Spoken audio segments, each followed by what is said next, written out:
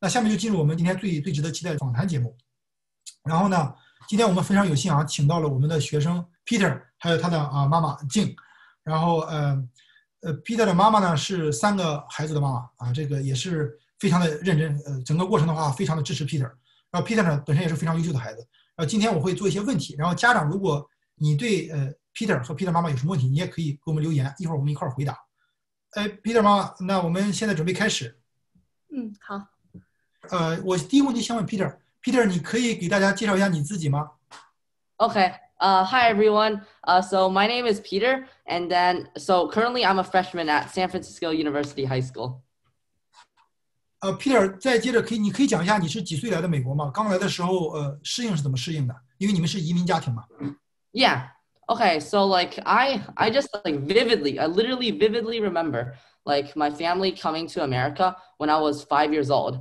Uh, like when we came, my I didn't know any English, nor did my parents. So like in class, I couldn't. I don't know. Like I couldn't communicate with any of my classmates, and I couldn't communicate with any teachers.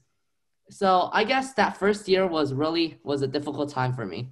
But I think as time passed, like as like I started to hear more English and as I started to immerse into American culture, like I started to become more fluent. And yeah. 对，谢谢 Peter。然后 Peter 妈妈，呃，这个问题是给您的，就是呃，您可以分享一下您的您是哪年移民过来的，然后这几年的你们的这个整个这个移民在美国重新生活的这个心路历程吧。呃，好的，我们是二零一二年过来的，那个时候 Peter 还不到六岁。嗯，其实就是因为我吧，本身在国内的时候呢，我们这个家庭里面就有很多亲戚。他们都是在国外的，有很多亲戚在香港，也有在瑞士的，也有在美国的，所以就可能从小对我有这种潜移默化的影响吧。我就一直都特别想带 Peter 出来，就出来多一些学习体验吧，嗯，就是多看看世世界。然后我们一二年就移民到美国了，呃，那个时候 Peter 刚开始的时候过来的时候也确实是我们英文都不好，包括现在我跟 Peter 爸爸英文也不是特别好。然后就，呃，一点一点的吧。然后现在我 Peter 有了弟弟妹妹，然后呃，我们现在过来大约有八年了。好，哎，谢谢谢那 Peter 妈妈。那我有个问题啊，就是很多家长移民是为了教育嘛，一般都是为了教育。当时咱记得在咱们在在北京碰面，不是给 Peter 做，咱们在讨论怎么呃那个视频的策划嘛，就 Peter 那个个人视频。当时了解，过来才知道啊，您是在北京最好的学区中关村那边有学区，那么好的位置。然后 Peter 爸爸呢也是。美北京数一数二高中的那个数学老师，也后来是教育成很成功的教育创业者，就是那么好的教育资源在北京，为什么您当时选择来美国呢？呃，因为我我个人觉得吧，美国的这个教育是比较自由的，就是它没有特别多的框架，孩子呢都是可以自由发挥的，这个跟中国教育有很多不同。呃，而且也没有那么多的家庭作业，然后有 有很多东西呢，就是说做作业找答案，他都是要去。呃，图书馆去找资料，要读很多书，然后才可以就是做。他就是在这个过程中，他就很快乐，所以我很喜欢这样的模式。我就让 Peter，我就决定还是先让他在这边读吧，然后就让他也看看他是不是在这边这种方式会很快乐。好，谢谢。那我下一个问题是问 Peter，呃，Peter，你觉得呃，你现在因为家长很关，很多家长是很关心你现在就读的这个 University High 嘛，他在在湾区的名声非常好。你觉得和你之前的中学啊，甚至以前的小学啊，你就比，你觉得这个学校有哪些地方不同？举个例子，可能是呃，classroom experience, teacher experience, teaching experience, other stuff. You can you can share a little bit. Yeah. Yeah. Okay. So I'm not gonna cap with the event. Like literally, uh, UHS is is incredibly hard. Like especially the homework load. They like the homework load is when compared to my middle school, it's so much more intense. And then also like the expectation for the for like our assignments is also much higher than my middle school. And and like also uh what do you call it? And the content, the content, like the stuff we learn in class, like like sometimes it's a huge jump from my middle schools. Like some topics we haven't even touched in middle school yet. So like overall, I think UHS is really hard. But like I would say a good side of UHS is they also give you more freedom, you know? like I guess one aspect of the freedom they give you is that like for the prompts, for the homework prompts, uh, there's definitely less limitations. Like in my middle school, uh, they, they, they give you one specific prompt and you have to write an essay about that. But at UHS, the teachers give you multiple prompts, like 10 or 20, and then you, you get to pick one question that you feel that you feel like you want to answer. And then you can write about that. 好，谢谢 Peter，我觉得 Peter 回答特别好啊。呃，可能个别家长哈，他可能是在国内听，他可能英英文没有那么好哈。呃，其实 Peter 就讲了一个自由，因为刚才呃 Peter 妈妈提到了，他喜欢美国这种自由的环境，孩子有的选，可以快乐学习。Peter 这个也验证了，就是他之前也是读私立哈，那个私立哈一会儿给大家讲，呃，就是说没有那么好，没有那么很好的 prepare。呃，Peter 就是 Peter 说他在这个学校最大的收获就是学校比虽然非常累，比之前累的很多，作业也多，但他觉得呃很有意思，老师给很多选择权，就这个过程是很就是。不是像国内一样，他之前的私立高中在在三三班啊，私立初中啊，和国内很像，就给一个答案或者给文章就给一个题目，那呢就没得选嘛。小孩有可能不喜欢写，但是他这个给很多，而且那个老师的这个预期很高。昨天那个 Peter 也跟我们分享过，就是说我们单独谈谈的时候，他说，呃，老师虽然没有要求很严，但是他的期望值其实很高。那当然他会回会帮你啊，你会问他，然后他整个学校那个竞争氛围非常强。So follow up with your uh, your answer. So which class you enjoy the most so far? Oh. Uh, probably English. Yeah, like I yeah. First of all, I really enjoy the book we're reading right now. We're reading The Other Americans, and then and also like the essay prompts were were really philosophical. Like I got to think a lot about the essay prompt. So for my essay, I guess I wrote about like how did your perception change of the American dream after you finished reading this book? So like I spent a lot of time thinking about that question and then like writing up an analysis for it. 所以这个过程的话，你是很享受的。你虽然很忙，但是你没有觉得是一个 burden，你觉得很 make you think.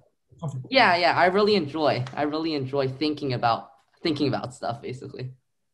对这个问题其实很有意思啊，因为呃，Peter 其实他在学校模拟考的时候，在我们去年大概暑假前吧，我们在准备要 SAT 的时候，他们学校有模考，他考了一千八，一千八什么概念呢？大概 ten percent，就一百分是十分。当时我们都懵掉了，因为 Peter 是全英在学校啊，成绩不错哈。妈妈也觉得 Peter 口语很好啊。其实我们不惊讶哈，因为这高中呢，我们当时看了一下这个族族裔比例，亚裔不多。初中啊，就毕业那个初中啊，我们实际上现在有个 bias 啊，我们觉得亚裔越多的学校成绩越好，氛围在哪儿，对吧？所以这个也佐证。当时我们其实很慌，呃，但是后来实践证明啊，Peter 还是很有潜力的，就是他的那种演讲能力啊。因为 Peter 之前我们我给他做视频的时候，我们一块研究怎么去做视频啊，他的那种即兴演讲非常强。后来学校都选他上年年终或者一大学聚会的时候，作为一个非母语的这个学生去给大家演讲。而且 Peter 他不是一个普通的演讲，他会自己加一些 joke 在里边，在可能国内叫包袱呀或者叫梗之类的。但是 Peter 是自动加的，就这个很厉害，他的语言天赋非常强，他喜欢有更更好的词、更巧妙的这种设计，让大家怀 happy。所以在学校很多节目里边，Peter 是有参与的，就是他非常外向。就刚才我那个问题，什么样的孩子适合读私校？非常的外向，非常喜欢交朋友，对吧？非常喜欢挑战自我。然后这个问题我要问问那个呃，Peter 妈妈。那 Peter 刚才讲了很多嘛，他你看他这一年成长，我觉得也很好，很自信，很阳光。你觉得呃，您描述一下，就是 Peter 是个什么样的孩子，在你心目中他是个什么样的孩子？因为家长都不知道，您对手对吧？然后这几年从你们移民到现在，他的成长历程，你可以大概分享一下。嗯，好。呃，我觉得 Peter 其实是一个挺懂事儿的孩子，他也挺独立的，呃，也挺有自信的。嗯，这不是我在夸 Peter，确实是我个人认为是这样的，因为。呃，我们刚来的时候，从我们刚来的时候吧，我我们家里就是英文就特别不好嘛，然后 Peter 就什么事情都让 Peter 帮忙，Peter 帮我们去做一些，呃，去跟学校沟通啊，呃，包括有一些说英文的地方，Peter 就去帮我们去做了，呃，所以就在在这方面呢，他就很主动的就承担起来这些责任，就是特别有家庭责任感。后来有弟弟妹妹了，因为弟弟妹妹嘛也比较小嘛，他呢就也很自然的就。经常照顾弟弟妹妹，就是特别像一个大哥哥。呃，就是在 Peter 他过来的时候，其实我们这个呃过程还是挺。他当时刚来的时候，他也英文也是不好的，但是 Peter 是一个很努力的孩子，他确实是特别的努力。就像您刚才讲的那个，哎，就是咱们考 SSCD 这个事儿，好吧，我就我就顺便我就说一下哈，就是 他真的呃刚开始的时候呢，我们。也没想到，其实我当时跟被那个团队跟你们团队接触，主要是因为我们要申请高中，我可能是做这个高中申请也比较困难，我英文不好，对美国也不是很了解。但是接触完之后，正好赶上他们学校第一次的这个 SIC 考试，然后这些成绩考得特别差，然后就正好就在那儿，就朱老师跟丹尼老师就帮他呃辅导这个数学还有英文这一块儿。然后这一块儿就就是这这一方面啊，朱老师跟丹宁老师真的是特别给力。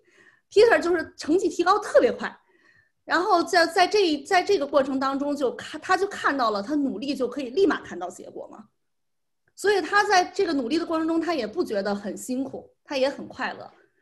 然后我们就第一次考试就。第一次的真正的官方考试，Peter 就直接跳到两千二百多分，然后我们就很开心啊，就是在这个上面，就说 Peter 他这个努力啊，他并不是说他逼着自己去努力的，我们这八年的历程一直是这样的，他是在一个很快乐的过程中去享受这个努力的。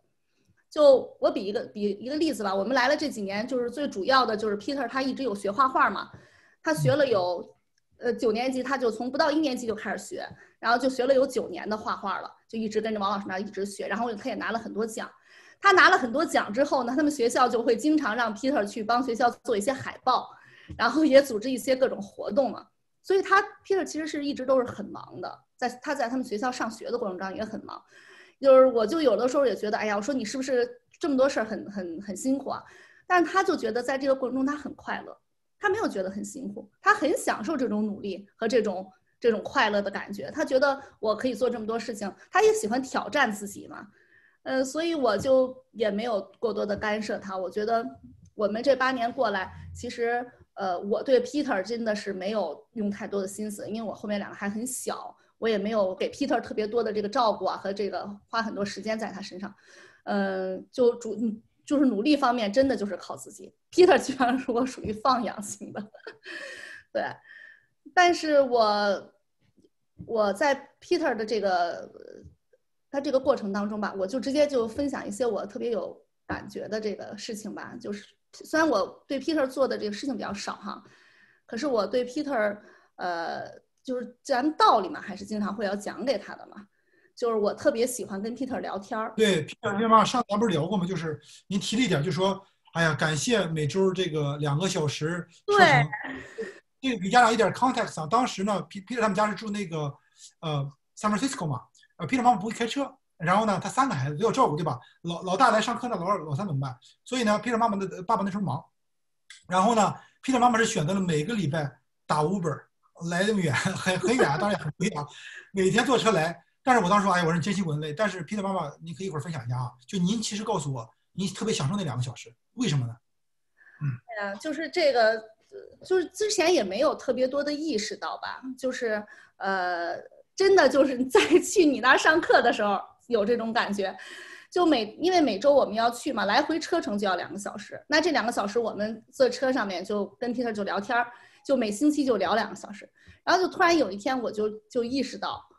就觉得特别期待这两个小时。我每星期最期待的时间就是跟 Peter 路上聊的这两小时，因为我们俩聊的特别开心，我们什么都聊，嗯，就有的时候就可以聊到我们俩笑到都流眼泪那样哈。就这两个小时非常快乐。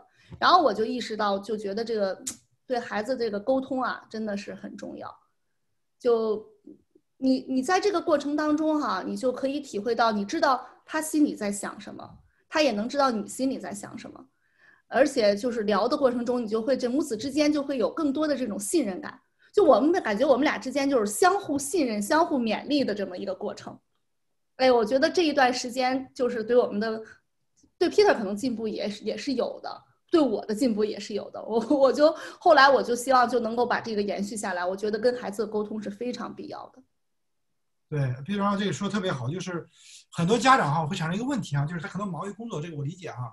呃，然后呢，他他可能回来就属于一种那种，他只问结果不问过程，哎，怎么样，考试怎么样？就是他只会聊点这个，孩子最烦听这个，然后他会说，哎，你看那隔壁谁谁家哪个孩子，别人家的孩子，宇宙最强大的生物，永远比你强，对吧？所以我就觉得，呃，Peter 妈妈这点好，我 Peter 妈妈我可以假设就是您的问题是没有目的性，就是瞎聊，不是说你你学习成绩要学要，你就是瞎聊是吧？就纯粹是瞎聊，我们什么都聊。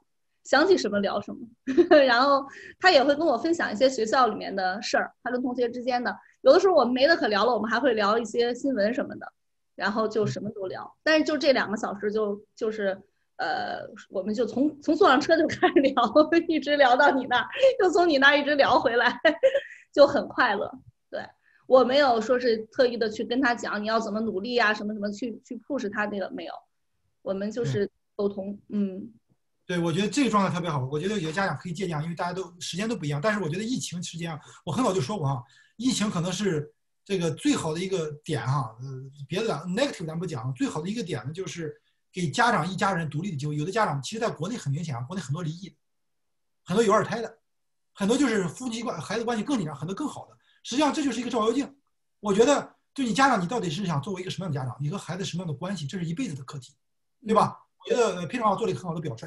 你想让孩子信任你，想了解他内心的成长环境，你不能像老板一样，过一年我就问结果，看业绩，这不是公司。不管你多么成功，这是你儿子，这是你女儿，你们是平等对话的。你要了解，你要做一个倾听者，所以我觉得特别好。那佩常妈妈最近那个 Uber 也赚不到你钱了，你钱了，对吧？你你们这个怎么持续啊？就现在你们是怎么办？因为三个孩子都在家嘛，你们怎你们有这个单独的时间吗？我们我们现在基本上就是晚上，呃，中午或者晚上吃饭的时候。就午餐、晚餐时间，就我们家的，就是聊天时间啊。我不知道这个是不是，就，人家懂养生的，是不是觉得这个边吃饭边说话不好哈？但是我们，我们好像很享受这个时间。然后我们因为吃饭的时间嘛，就是五口人坐在一起，然后就就什么都聊，边吃边聊。嗯，那两我们家那两个小的也会参与进来。对他，他们，他们，我觉得这个对孩子真的是挺好的。他们有很多东西也都是在跟吃饭的时候跟我们沟通过，他还才他才知道哦，原来这样什么的，就不用刻意的讲给他。然后我们就在这，就是这就是我们现在沟通和聊天的一个特别快乐的时候。对，我觉得这妈妈这点特别好，就是一个家庭的沟通像一个公司团队的沟通一样，大家有相相同的目标，相同的理解，那呃会一往无前，效率比较高。我觉得这个这个很好的，今天我觉得这个收获特别大，我个人也收获很大，因为很少有时间和家长聊这个话题，对吧？因为大家都是来忙，都是为了申请申请高中、申请大学这块儿的。好，那我下一个问题就是呃，Peter，你就刚才你妈妈提到说一千八百分从百分之 top ten to ten percent 提高到 ninety five percent，what happened during the tutoring process with Daniel? Okay, yeah. Okay, like literally when I found out that I got 10 percentile, I was so shocked. so like uh what do you call it? After I did the practice test, I went to Daniel and Wen and asked like how they can help me like improve. So I think so I think one of the biggest thing that helped me improve was how Daniel and Wen motivated me to study. Like before before going to them, like I only studied around 30 minutes a week. But then after after I started like routinely going to the classes and stuff, like after school, I, I would study one and a half hours and yeah, I think that really helped. And then another thing that was so important for that jump uh, was the practice tests I did every week. Like uh, Wen and Daniel would assign like a practice test that I would do every single week. And then at the and then once I finish it, I would check the answers and stuff and then bring it to the classes the, the next week. And then like me and Wen would review the problems and then me and Daniel would review it as well and then see like where, where I did wrong and where I can improve. And then I think that really helped a lot because while doing the test, I practiced my strategies and also like just practice like the questions. 对对，Peter 的话，他是很明显的一个例子，就是我们当时一发现哈，他们学的数学和英文教育非常浅，而且竟然有个奇葩的事儿哈，Peter 就是他很努力嘛，他想进步，老师会说，哎，老师给他妈妈写的那个 report 说，哎呀，Peter 太努力了，这样会不会焦虑压力？ 所以家长想一想，这个旧金山这个左派已经到什么程度啊？这左派有好的地方啊，就他太左了，就觉得你努力的话，别人怎么办？别的小朋友不就不好意思了吗？但是呢，Peter 就是说，我觉得他适应能力特别强。他问过我这个问题，说老师，难道我我我就没觉得我努力啊？我们也给他一些价值观的一些疏导，希望孩子要理解啊，老师的出发点就是怎么和老师写邮件沟通。我我为什么努力？不是我想给自己压力，是因为我真的 enjoy。所以这个沟通过程我们也也帮了不少忙。但 Peter 有个最大的优点啊，不是说我们老师教的多么多么好，我们老师肯定是可以，但是呢，Peter 执行力很强。我们让他每周来，然后他不偷懒，他也不他也不说谎，他就真的在做。然后妈妈也帮忙盯，所以这个孩子听起来还都大家都贪玩嘛，执行力非常关键。而 Peter 通过大量的落实，他的成绩也非常明显，因为考试都能练出来。虽然不可能让 Peter 短时间提高两千三百五，但是对于这个幅度到九十五这个 percentile，呃，主要通过努力和 Peter 本身的聪明是可以达到的。大家要记得哈，Peter 当年的那个成绩是非常弱的，他们学校教的非常的弱，数学和英文都是教的非常简单。Oh, the Peter, last question for you, and then I get more question for your mom. Um, what's your what's the biggest takeaway from the application process with Wen and Daniel? Okay, uh, so like when I said before, like I the habits, right? Like after after doing all of these tests and after like studying every day after school, like I really adopted the habits that I took from like going to the N19 classes, and yeah, like like e- even though like I'm not studying math or English that much anymore, like I'm still memorizing like vocabulary, like Spanish vocabulary from my Spanish classes every day and like doing some math problems to continue to improve. Peter，我呃，What about the essay prompt？Like，呃，在你写文书的时候，你有有没有个思考的过程？有没有什么让你觉得有收获的？ Oh yeah. So also also another like important takeaway was I guess identity exploration. like before before I wrote the essay, uh I I really didn't dig that deep into into myself, I guess. So when when me and Daniel wrote an essay about how I started to how like I how, how do I phrase this? Like we wrote an essay about how I like at the very beginning I wa- I really despised sixth graders and then how like after talking to them and communicating with them i started slowly to accept them so like before before i wrote this essay i didn't even notice the process of me hating them and then at the end me liking them. I didn't even notice that. But after writing that i noticed that process. And then from now on when there's like a background bias or whatever you call it i can see that. And then i can like change that and then turn it into like yeah like an acceptance thing 好，谢谢 Peter，我觉得这个特别好。就是我们当时和呃 Peter 写问题的时候啊，Peter 是有些观念，他是正常嘛，他不想和小孩玩，这个正常，谁喜欢和低龄的玩？但是问题巧了，就问他怎么调和关系。我觉得就是通过这个问题侧面来看看 Peter 这个 mature 呃就是 maturity 嘛，看他是不是成熟。Peter 回答的很好，就是实际上没有固定答案，就是老师和他 work 的过程中呢，实际上是一个引导他去思考，他思考这个问自己找到答案。呃，这个很有意思。这个孩子嘛，孩子初升高的 essay 和本和本科是不太一样的啊，这个家长注意点。我们这边就不展开讲。然后我还最后两个问题问 Peter 妈妈啊，呃，就第一个问题就是整个过程中您对这个他的那个 Peter 的我们的朱老师还有 Daniel，您给一个客观的评价就可以。你觉得哪些方面是帮到 Peter 的？嗯，哎，我真的特别感谢 感谢 Ben，感谢朱老师和 Daniel 老师，因为这个就是真的是显而易见的。我们当时我去申请的时候，就是为了申请嘛，没有想到在这个 SIT 这这一块儿，Peter 这么弱，然后他这个提高就特别快，而且这个提高吧。那呃，不是说是当时只是为了，我就是我就这么说吧，就是在我们申请只是一个过程，那现在就是在后面还真的是有一些后遗效应的，我觉得这个也是对 Peter 来说很重要的。你像 Peter 本身，我们是从中国过来的嘛，所以 Peter 跟那些，就比方说当时开考 SSAT 的时候，Peter 跟那些本土长大的孩子肯定是有区别的，他的那个词汇啊、阅读肯定都不如人家嘛。然后 Daniel 老师就帮 Peter，就是呃，一方面教他，另一方面给他一些技巧，他可以提高的那么快，我觉得这个真的是让我们没有想到的。然后数数学也是，数学基础他也不好。然后朱老师当时就跟我说，说是呃不要着急，我们不要直接就是跨度那么高，我们先从基础开始一点点捋一下，把基础打打扎实。现在我就感觉到打扎实真的是非常重要，不光是为了考 SSAT 啊。他现在就是进 University High 的时候呢，他们学校是有一个入学分班考试，他按照你的那个呃考试的这些呃成绩来分你在哪个级哪个级哪个班。然后 Peter 直接就考到二级了，数学。然后包括现在，就是前几天老师给我们的那个 report，Peter 的那个成绩也是数学也是 A，哎呦，所以我就觉得这个基础打扎实是非常重要的。这一块儿就是朱老师跟戴老师给我们的这个帮助哈、就是这个后遗效应 一直在延伸。这个我就我真的是很客观的讲，在这些方面很就是确实是特别特别的感谢老师的这个帮助。然后在就是申请过程中，我们其实是对美美国不是很了解的嘛。就是当时你们帮我们做规划，当然我我只能跟你和朱老师聊哈，只能跟贝恩朱老师，因为我英文不好，就是帮我们把这些条理理清楚了，就觉得 SICT 很重要，然后同时德智体美劳这方面也很重要，就像我们中国人讲了，德智体美劳要全面发展，这些方面也是很重要，所以就是我们当初没有想到的一些东西，然后你们提供给我们的这些讯息啊，然后我们就就是后来做，包括对现在也都是有很多影响的，我觉得特别好，特别感谢。哦，谢谢 Peter 妈妈。这个，呃，我觉得我们也说过很多，因为我们见 Peter 当时我们就就说明孩子适合，确实适合。呃，因为有的时候有些孩子不太适合，我们和家长说啊，可能要多申请 backup。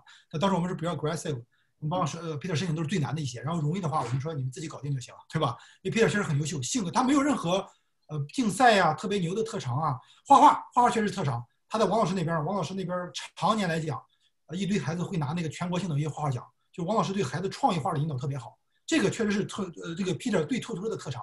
但 Peter 那个硬件不是这么，哎，还有一点啊，我们担心，因为呃 Peter 之前的那个你们的背景，你们不是在美国待的很久，你们没法给学校义工啊，包括捐款这块不如美国家长做那么到位哈，所以可能会造成一个呃问题，而且你们不能讲英文，所以说这个很麻烦，所以我们担心的是这个点，因为那个学校非常注重他这个三藩这块儿长老这个早期这帮居民的这个子女，哎，所以这个我们也很担心。第二个，Peter 努力之后还是很很好的证明自己，确实是我们预测的一样。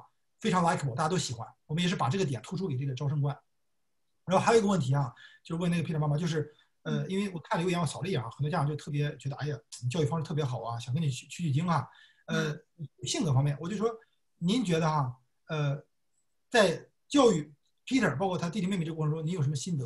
就是为什么 Peter 就是哎比较成熟自信一些啊？这是采用了什么方法？嗯，呃。其实我觉得哈，就是因为弟弟妹妹还小嘛，就对 Peter 来说啊，就真的，我对他其实没有没有花特别多的心思。我们 Peter 真的属于那种放养型长大的，这这实话实说啊。我也学校学校他教的东西我也不是特别懂，我看不太懂英文，所以我也没有怎么管过 Peter。但是呢，我就觉得孩子他成长的过程中，你呃。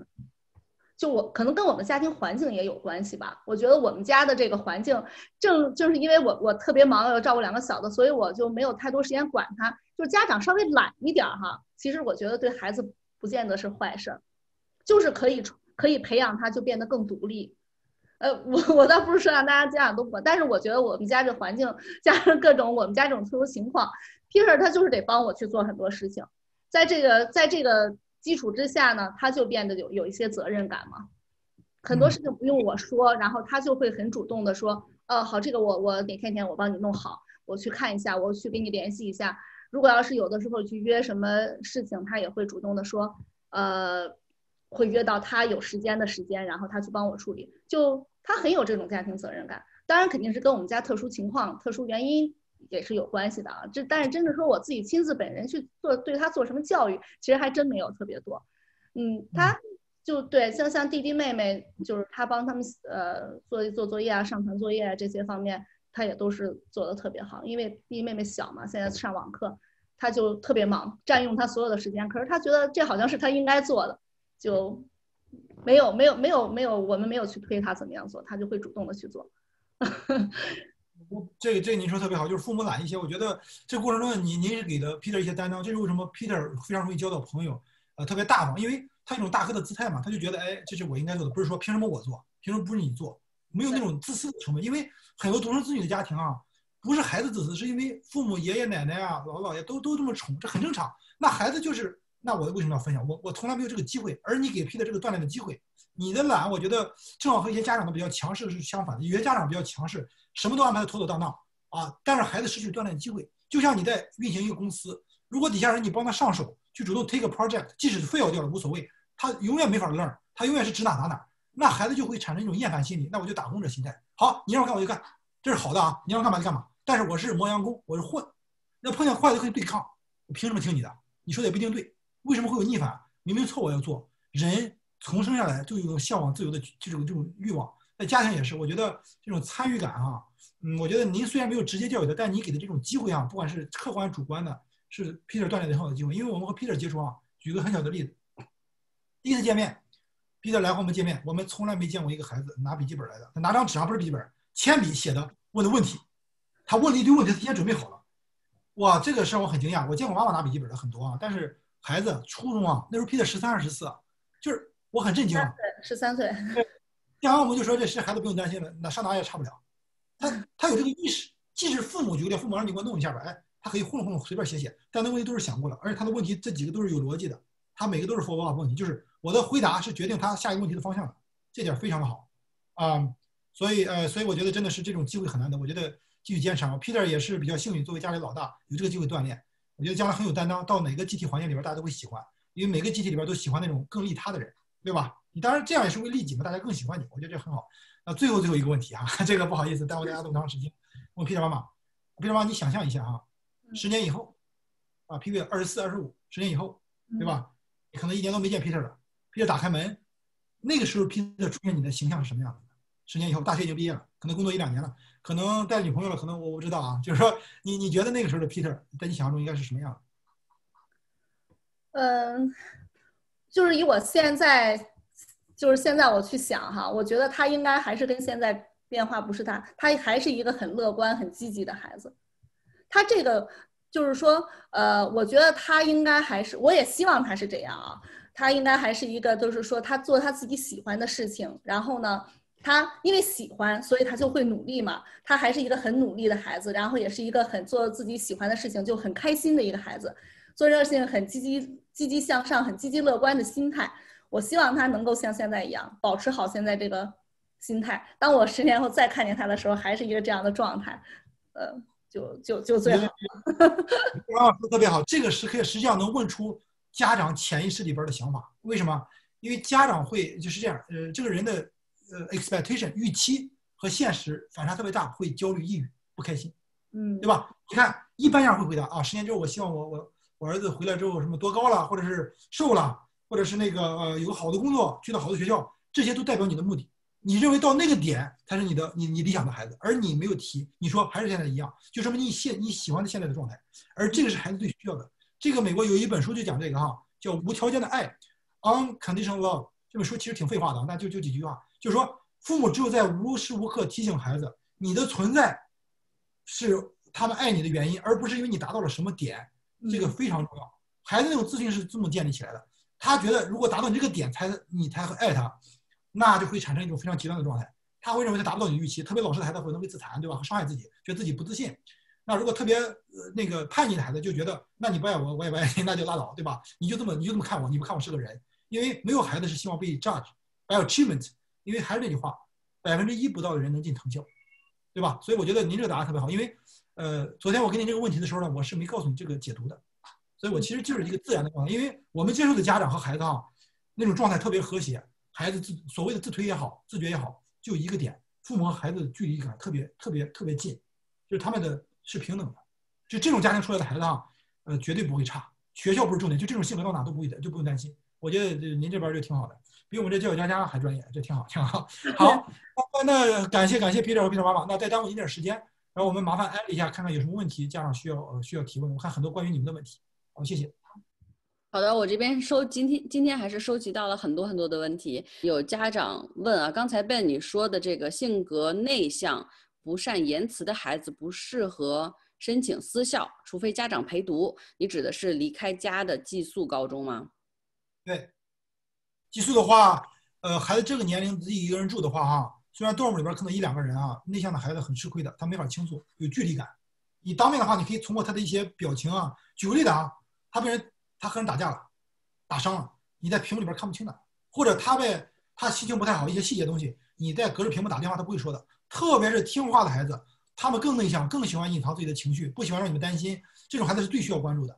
没心没肺的还好一点，呃，内向敏感的不太行。所以说家长一定要小心。嗯嗯，好的。那下一个问题，这个 SAT is no longer counted in admissions of many universities. That how did this to affect the decision to these famous private high schools？就现在 SAT 取消 SAT 对这些 private school 有影响吗？他们都没去啊，就是 private high school 每个学校有不停的政策，他们有可能 test option 要干嘛的？还是那句话， 刚才那个表里边哈，我们没有没有说那个最重要的是面试，还是那句话就是面试。如果这个私立高中啊，因为私立高中实在太杂了，每个都不一样啊。如果他没有说他必须要考，你就不用考。如果你考得很高，你你也可以教，这个是不一样的。这个每个家庭情况不一样，没法统一答案。但有一点哈，私立最重要的就是面试，面试最重要。你如果面试里边用的高级的词，讲话逻辑非常强，非常 mature，还有创造力，一定会录你，分都不看。嗯，OK，好，我们家人很好奇，那个 Peter，你是读的哪一个 private middle school 啊？还有你的中文，家人还好奇你的中文能力怎么样？那那你看你用中文来回答。好啊，我会说中文，可是我的中文没有那么好，不太好啊，所以所以我的中学是上的 Presidio Hill School。是在那个怎么说，一阶那块儿的那个学校，不是那个，呃，功利的。好，然后呃，刚刚有家长问啊，想问 Peter 妈妈是不是可以谈一下 Peter 赴美以后对他自信心养成，还有从家庭这方面有什么样的心得？怎么样培养他这个自信，还有有这个 accountability，有有有担当啊，责任心呐、这些。呃，就我们来了以后啊，其实刚开始时候真的是没有什么自信的，他也不太会说，Peter 也不太会说英文，我也不太会说英文，嗯，但是呢，就是嗯，他上了学以后呢，可能 Peter 他自己就是比较。因为因为我不会讲嘛，所以他上学了，就有很多事情，其实这真的就是跟我们家的这特殊环境是特殊情况是有关系的。他上了学以后呢，我就什么事情都得依靠他，他就觉得他就是有这个，他就得努力呀，他就得帮我去做这些事情，要不然就没有办法做嘛。我们刚来的时候什么都不知道，所以就这在这些方面呢，就是自然而然的他自己就去做了，他自己就去努力了，而且他呢，就是呃努力了努力了以后，他就会看到一些结果。他就会在这个这个方面，他就会得到了一个自更，就是他自己就有自信了。哎，我原来可以做的这么好。然后还有一个就是自信呢，就是呃，Peter 确实是获了很多奖嘛。我觉得这个对孩子来说，就是还是可以增加很多自信的。而且这是一个连连续性的东西，比方说他。他画画获获得奖之后，学校就会让他去帮着学校做海报，然后呢，他就去帮学校做海报了。做海报之后，他跟学校老师、跟校长接触的多了，然后他们就觉得，哎，他组织能力也挺好的，然后就让 Peter 又去组织学校很多活动，包括有还他还代替学校代表学校去 City Hall 帮学校领过奖，就是很多活动都是 Peter 去做了。他就这些事情多了，自然而然就更推动他的这个自信心了。所以这个都是。一连串的，其实，在这个过程中，我真的没有没有做什么，我没有给孩子任何这些方面的帮助，只是自然而然的就就形成了这样子了，就这么一个过程吧。嗯嗯嗯嗯，对，主要 Peter 自己也有能力，然后呢，也感谢妈妈给机会，可以给的机会。OK，好的，那下一个问题啊，嗯。有家长很很感兴趣，就是呃问 Peter how many students from your middle school admitted into your current high school? Okay. 有个统计你这个。呃，I think three.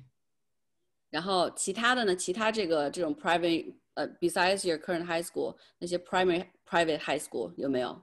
Okay, so like what high schools did my classmates go to? 对对。I'm not that sure because like after the COVID thing, the lockdown started. So, so we didn't really get to share. Mm-hmm. Yeah, but a bunch went to Urban, like, and then like five or six went to Drew, and like some kids went to Bay as well. Okay. And yeah.